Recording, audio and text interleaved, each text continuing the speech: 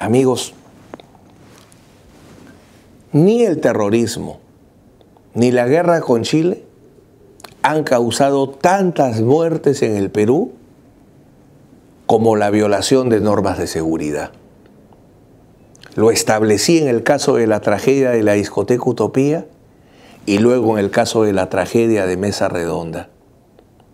En el Perú se mata más personas no por pistolas o puñales, sino por violaciones de normas de seguridad. El pasamayo es un ejemplo más. Hace unos días en este mismo espacio, desde el cual reflexiono con ustedes, que es mi directorio, en el estudio Sousi Nakazaki, me visitó la madre de un pequeño porque prácticamente ha perdido un brazo en el ya olvidado caso del Cerro San Cristóbal. El bus que nunca debió estar ahí y que nadie es culpable de nada.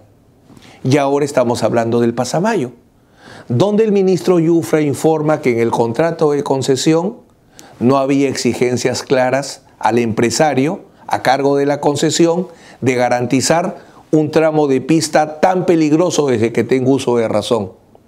El hecho que me aterró y me generó orgullo es uno de tantos viajes con mi padre y mi madre, mi padre médico, viendo como un camión o un ómnibus, tenía menos de seis años, empotrado contra una roca, la gente tirada en la pista y veía como mi papá médico bajaba a auxiliar a los heridos. Terror y orgullo. Miren, seis años tenía, acabo de cumplir el 5 de enero 56 años y sigue el mismo peligro. Solamente una reflexión aquí. Si en el contrato no se establece un responsable para la seguridad, eso no significa que no haya responsable.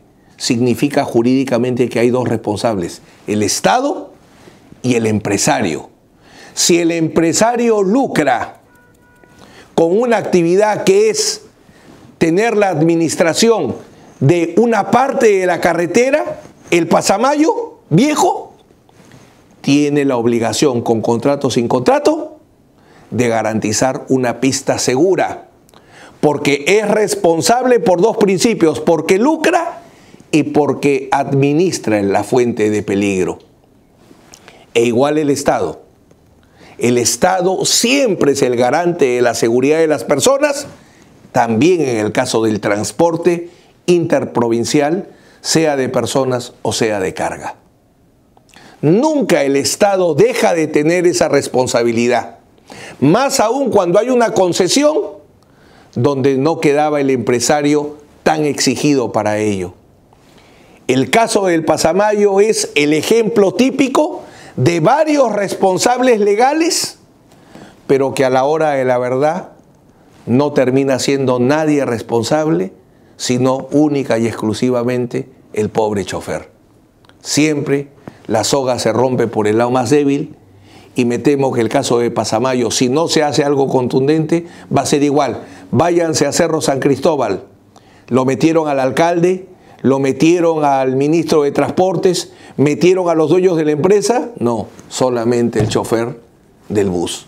Siempre la historia es el último eslabón de una cadena de responsables que nunca son responsables ante los tribunales de justicia. Eso tiene que acabar y esperamos que en la primera década del siglo XXI podamos establecer las bases para que eso finalice. Gracias.